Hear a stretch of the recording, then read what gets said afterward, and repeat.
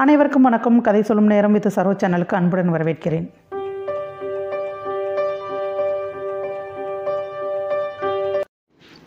சிவனின் இந்த பதிலை சற்றும் எதிர்பாராத தாட்சாயணி தேவி மீண்டும் அதிர்ச்சியில் உறைந்தார். சிவன் உரைத்த வாக்குறுதி நினைவுக்கு வர என்ன சொல்வது என்று புரியாமல் நின்றார். ஏனெனில் ஒருபுறம் தன்னை ஈன்றெடுத்த தந்தை மறுமுனையில் தன்னை கரம் பிடித்த கணவன். தாம் சொல்லும் முடிவால் யாராவது ஒருவரின் மனம் கண்டிப்பாக புண்படும் என்பதை அறிந்த தாட்சாயணி தேவி தன் முடிவை சொல்ல ஆயத்தமானார். பிரஜாபதியான தட்சன் தன் மருமகனான சிவன் தன் மனைவியான தாட்சாயணி தேவியின் முடிவுக்கு உட்பட்டு நடப்பேன் என்று கூறியதில் மகிழ்ந்தார். ஏனெனில் தான் பெற்ற மகள் ஒருபோதும் தன் பேச்சை மீறமாட்டாள். எனவே எம்பெருமானான சிவபெருமானும் என்னுடைய பேச்சுக்கு கட்டுப்பட்டு நடப்பார் என மனதில் செருக்கு கொண்டார். ஆனால் அங்கு நிகழ்ந்ததோ வேறு. தாட்சாயணி தேவி தன்னுடைய கணவர் கைலாய மலையில்தான் இருப்பார் என்று திடமாக கூறினார்.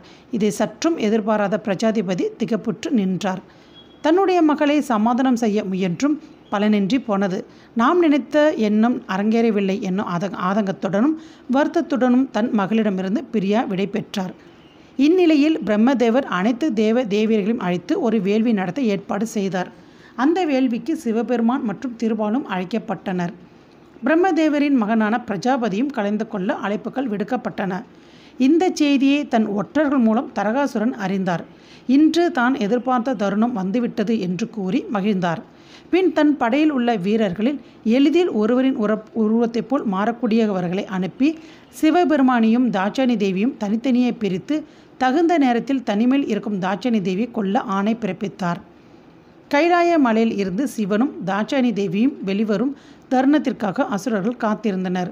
அவர்கள் எதிர்பார்த்த தருணமும் வந்தது. சிவனும் தாட்சாயணி தேவியும் தனிமையாக வனத்தில் இருந்த நேரத்தில் சிவனுக்கு பிடித்தவரான நந்தி வலியுடன் இருப்பது போன்ற குரல் தூரத்தில் கேட்டது. இதை கேட்டதும் தாட்சாயணி தேவி தன் கணவரான சிவபெருமானிடம் நந்திக்கு ஏற்பட்டுள்ள துயரத்தை போக்குமாறு கூறினார். ஆனால் சிவபெருமானோ நந்திக்கு ஒன்றும் ஆகாது தேவி என கூறினார். மீண்டும் மீண்டும் அந்த வலியுடன் வந்த குரலை கேட்டு தேவி பயந்து நந்திக்கு ஏதோ ஆபத்து என எண்ணி சிவபெருமானை அனுப்பி வைத்தார். இங்கு நடக்கப் போவதை உணர்ந்த சிவபெருமானும் தேவியின் கூற்றுக்கு இணங்கி அவரும் நந்தியின் குரல் வந்த திசையை நோக்கி சென்றார். சிவபெருமான் மறைந்த அந்த நொடியில் சிவபெருமான் போல் உருவம் தரித்து அங்கு அசுரன் உதயமானான். சிவபெருமானை கண்ட தாட்சாயினி எம்பெருமானே நந்திக்கு என்ன ஆயிற்று? என்று வினவி அசுரனின் அருகில் சென்றார். தாட்சாயினி தேவி அசுரனின் அருகில் செல்லும்போது சிவபெருமான் உதயமானார். ஒரே இடத்தில் இரண்டு சிவபெருமானை கண்ட தாட்சாயணி தேவி திகைப்புடன் காணப்பட்டார்.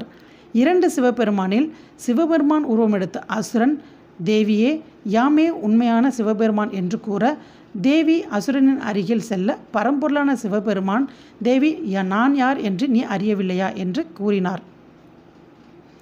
இருவரின் பேச்சுகளால் குழம்பிய தாட்சாயணி தேவி யார் என் கணவர் என்று நானே அறிகிறேன் என்று கூறி வலதுபுறமாக இருக்கும் மாயத்தோற்றத்தில் உதயமான சிவபெருமானாக இருக்கும் அசுரனின் அருகில் சென்றார். சிவபெருமானின் கண்களை மட்டும்தான் கண்டார். அந்த கண்ணில் தெரியும் வெறியும் கோபம் இருந்ததை உணர்ந்த தாட்சாயணி தேவி இடதுபுறமாக இருக்கும் சிவபெருமானை நோக்கி நகர்ந்தார். இடதுபுறத்தில் இருந்த சிவபெருமானின் கண்களை கண்டார். அதில் அன்பும் உயிர்கள் மீது உள்ள கருணை மட்டுமே தென்பட்டன. இவரே என் கணவர் என அணைத்து கொண்டார் தாட்சாயணி தேவி. வலதுபுறத்தில் போலியாக உருவம் கொண்ட சிவபெருமான் வடிவத்தில் வந்த அசுரன் தன் சுய உருவத்தை எடுத்தான். தேவியே உன்னை கொல்லவே யான் இங்கு அனுப்பப்பட்டவன். இம்முறை எவ்வித பிழையுமின்றி நான் உன்னை கொன்றே தீர்வேன் என்று கூறினான்.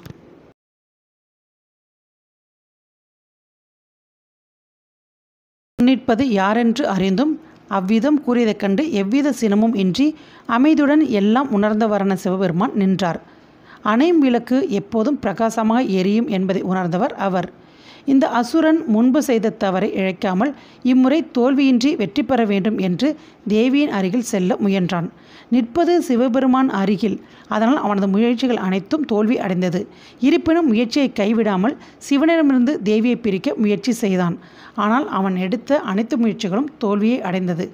இறுதியில் அசுரனின் செயல்பாடுகளால் சினம் கொண்ட சிவன் சூராயுதத்தை வாளாக மாற்றி அவ்வாளை கொண்டு அசுரனின் தலையை வெட்டினார். கருணை ரூபமாக இருந்த சிவனை கோபரூபத்தில் கண்ட தாட்சாயணி தேவி திகைப்புற்று நின்றார்.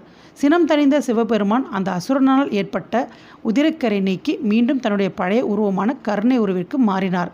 அரக்கனால் ஏற்பட்ட இடர்பாடுகளை கலைந்து இருவரும் வனத்தில் உலாவிக் கொண்டு இருந்தனர். இருவருக்கும் இடையே உள்ள உறவானது திடமாக ஆரம்பித்தது. இருவரும் தங்களுக்குள் மனம் விட்டு பேசி இருவருக்கும் இடையே உள்ள அன்பை மென்மேலும் அதிகப்படுத்தினர். இந்த வேளையில் பிரம்மதேவர் தேவர்களின் நலன்களை கருத்தில் கொண்டு ஒரு மாபெரும் வேள்வி நடத்த ஏற்பாடு செய்தார். அந்த வேள்வியில் பரம்பொருளான சிவனும் தாட்சாயணி தேவியும் அரியும் லட்சுமியும் கலந்து கொள்ள அழைப்புகள் விடுக்கப்பட்டன. தேவலோகத்தில் உள்ள அனைத்து தேவர்களும் கலந்து கொள்ளும் வகையிலும் ரிஷிகளும் உடனிருந்து வேள்விகளை நடத்தும் பொறுப்பில் இருந்தனர். கருணை கடவுளான சிவபெருமான் தனது மனைவியான தாட்சாயணி தேவியுடன் அந்த வேள்வி நடக்கும் இடத்திற்கு சென்றார். இதே போன்று காக்கும் கடவுளான விஷ்ணுவும் தன் மனைவியான லட்சுமி தேவியுடன் கலந்து கொண்டார். மும்மூர்த்திகளான சிவன் விஷ்ணு மற்றும் பிரம்மா மூவரும் தங்கள் இல்லத்தால் ஆளான தாட்சாயினி லட்சுமி மற்றும் சரஸ்வதி தேவி ஆவியர்களுடன் அங்கிருந்த அனைத்து தேவர்களும் ரிஷிகளும் காட்சியளித்தனர்.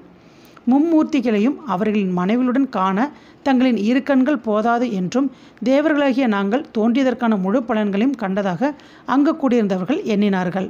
ஆனால் இந்த பிரபஞ்சமே கண்கூட காண வேண்டிய இந்த அற்புதமான காட்சியை ஒரு அற்புத வினைக்காக யாவருக்கும் கிடைக்காமல் போகக்கூடிய சூழ்நிலையை உண்டாக்கும் என்பது அங்கு கூடியிருந்த அனைவரும் அறிந்ததே. இவர்களைத் தொடர்ந்து பிரஜாபதியான தச்சனும் அவரது மனைவியான பிரசுதியுடன் வருகை தந்தார். இவர்களின் வருகை அறிந்து அனைத்து தேவர்களும் எழுந்து நின்று இவர்களுக்கு உரிய மரியாதையை செலுத்தினார்கள். தாட்சாயணி தேவி தன் அம்மாவை கண்டதும் அவருடன் உரையாட சிவனை தனித்து தன் அம்மாவை காண சென்றார்கள். பின் தச்சன் தான் எந்நேரமும் வணங்கும் திருமாலை பணியுடன் வணங்கினார்.